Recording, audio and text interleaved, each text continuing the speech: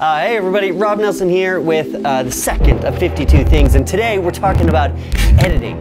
Editing, editing, editing. We're gonna up our game. I wanna make you faster and faster at editing your videos. I mean, this is all a little bit of a game. If you're charging clients money, then you gotta get through it fast. Or if you're making videos on YouTube or Instagram, then you have to get your videos out quickly. I like to think that I'm a pretty quick editor. I've been doing this a long time. 2000, I guess, was the very first time I started on Adobe Premiere. And then I switched over to Final Cut. Then I switched back to Adobe Premiere just recently. It doesn't matter what you edit on, but what I want to talk about today are some basic principles. In fact, all of it is keyboard shortcuts. When it comes to proficiency and speed when you're editing, you have to be able to edit with your fingers. You have to be able to forget about the tools that you're using and start thinking creatively. And when you can start doing that, and your edits are going to go extremely quickly. I feel it's one thing a lot of people don't do, especially when they start. Now those of you who, are, who have been doing this for a long time or who use it more professionally, you might already be doing this, but you might like to see the keyboard shortcuts that I use all of the time. Now I'm not going to talk about some of the basic ones like ins and outs. I picked out 10 or 12 that I use all the time that I don't think maybe everybody uses. So let's just kind of work through this and see how it goes. Now the first thing to realize is that you've got to understand where to get to the keyboard shortcuts. And there's a shortcut for that.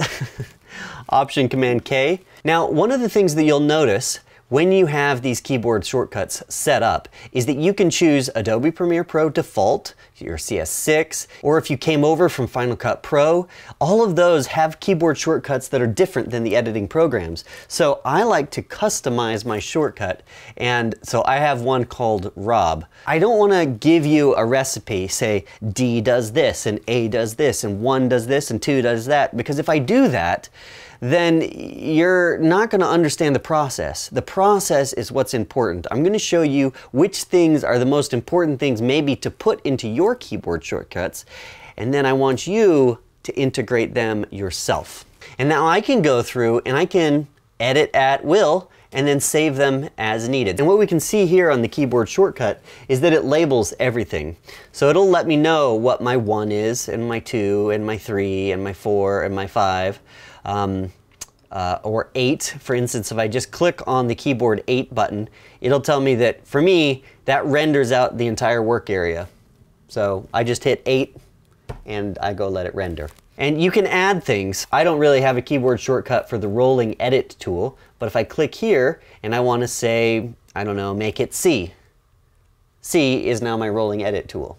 I'll undo that because that's not what I use. This allows you, if you forget, pop it up all the time and figure out what your keyboard shortcuts are. Or one of the things that I do is I write them all down when I'm learning in my notebook. You can see here.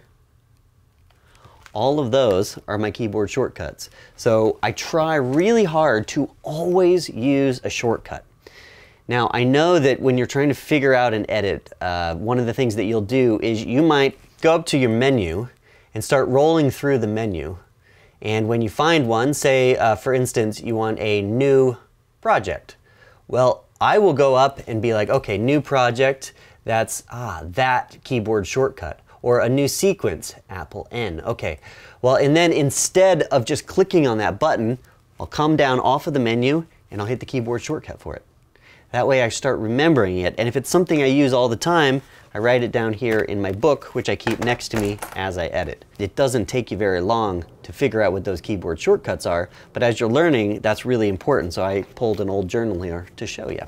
Let's just pump through them one at a time and I'll show you how I work with them. Okay, over here on the left-hand side, I have all my clips. Well, one of the things that you can do is while you have that clip selected, I have set the keyboard shortcut S to create new sequence from that clip. So right there, you can see it created a new sequence and then down here, that is my new sequence. So one of the things that you'll notice is that when a lot of editors edit, they edit completely with their fingers on the keyboard. Sometimes you'll use the mouse, but oftentimes you don't need to. So for this one, that's what I'm gonna be doing. Uh, you have J, K, and L, and that plays you forwards, L. Really fun thing for you to try. Double L, faster. Stop with the space bar, or K. Back with J.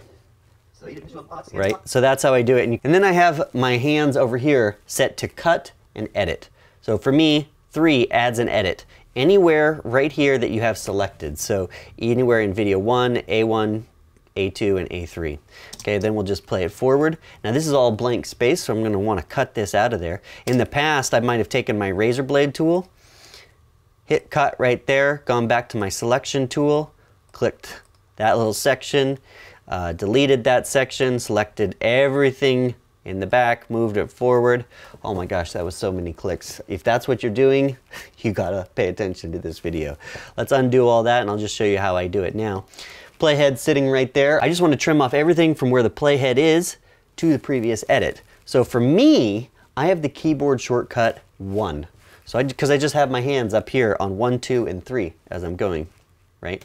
So one trims me right back up there. Okay, right there. Now two trims everything to the next edit. So one, two, and three I use all the time, but that's because I set that up. Nobody has that as a preset. I do have shortcuts set up for the razor blade tool and the selection tool. For instance, I can hit B and that gives me a razor blade. I hit A, that brings me back to the selection tool.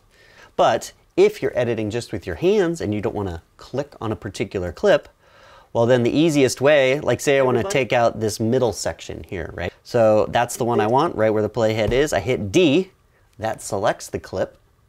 And then I want to delete that clip. Now if you just hit delete, you see it just takes it out and doesn't pull the rest of the timeline forward. Because I really liked Final Cut Pro and I got used to that magnetic timeline, you want to ripple edit. Okay, so let's undo that. All you have to do then is D to select it and Option Delete. Ripple deletes everything forward. So as I'm going through on say an interview, I'll just sit there and listen to it and at the places that I want to make that cut, my hands are doing all the work for me. So super easy and probably something everybody should be doing. Now the next thing is inserting clips into your timeline. So let's go here. I have a couple of time lapses that I took. Um, uh, this one in particular is really cool. It's, it's our time lapse, so I hit I for the in point there. Okay, and the end of that was about right here, so we out on that. And then instead of having to click on this and drag it into my timeline, I use uh, insert edits and overwrite edits. And those are something that I would hope everybody is using. And for me, I have uh, put those to Q and W. It's kind of a rollover from what I got used to with Final Cut Pro. For me, Q drops it over the top. You see right there? Now it's basically just B-roll over the top. And if I wanted to just take that timeline and spread it out and insert it, then I would use W. So two different ways that you can basically be working with your stuff and dropping them in without having to physically drag and drop that footage. So super quick and super easy. Now one thing that you'll have to pay attention as you're doing that, if you look over here, so right now it's gonna put the video track here and it's gonna put the audio track here. So if I was to undo that and say put it up here, then what happens is it adds the video track up there and the audio track down there. Now one thing that you will notice is that this was a 4K time lapse. So up here, I had it in 4K and you can see the whole frame. When I dropped it in though, it's quite cropped in. What I would have to do normally is click on that clip, I would have to go up here to effect controls, I'd have to go to scale and I'd have to like bring it down so that it finally matches up perfectly. Ah, and that just took so long all the time until I realized there's a keyboard shortcut for resizing it back to the uh, size of your timeline. So now all I do is I hit 4 and that is a shortcut for resize. Okay, now the other couple things that I use always, I add crossfades to things. So I just have on my keyboard 6 and 7 set up for video transition, 6, 7 for audio transitions. Okay, and now let's just say I'm ready to export this to Instagram or something like that. I basically will zoom out and wow, I have a lot of clips here. Usually I'll, I'll add in and out points to where I want to edit things because sometimes I only want to say a minute of footage, so an output there. And then when I export, I have it set up, Command M. That brings up the export dialog box and I have then I just hit enter and I go. All right, I hope that was a good introduction into the world of editing and trying to speed up your editing workflow. Uh, I'm sure there are a lot of things that you all use as keyboard shortcuts, but I don't have to list them all here because you can create your own starting with those keyboard shortcuts. I hope that made sense. Maybe you take some of those buttons that I use, integrate them into your mix, But remember, it's all about customization and getting faster as an editor so that you can be thinking about it creatively instead of having to be using the mouse and clicking around and then forgetting what you were wanting to do. All right, thanks for watching, everybody. Special thanks to the patrons out there who helped support this episode. Really appreciate it. It's allowing us to make 52 of these, one every week, so that if you follow along, hopefully at the end, you become a better filmmaker, a photographer, a better storyteller. That's the point. Because you don't have to be doing this as a profession to get something out of it. That's why this particular episode is framed at editing. If you were an editor, you probably wouldn't need this, but I wanted to like introduce you to this world of editing. All right, and next week, you're gonna love this. I am surprising Jonas for his birthday. So Jonas is about 20 minutes out. He's coming. Oh my gosh, I'm so nervous. Here he comes. We gotta make, we gotta sell this. He's turning 40. I'm flying to Sweden and we have this huge prank planned. What the fuck? I made it! So follow along. Get get on Instagram. Follow me at Untamed Science and Jonas at Behind the Science. We're going to be posting some of the behind the scenes of that because this is a little bit delayed. So it's going to be happening right when you get this message. And you will see it all in the next video. I'm really excited about it. He has no idea. We are going to surprise him. Whew. Let's hope he doesn't find out. All right, we'll see you next week.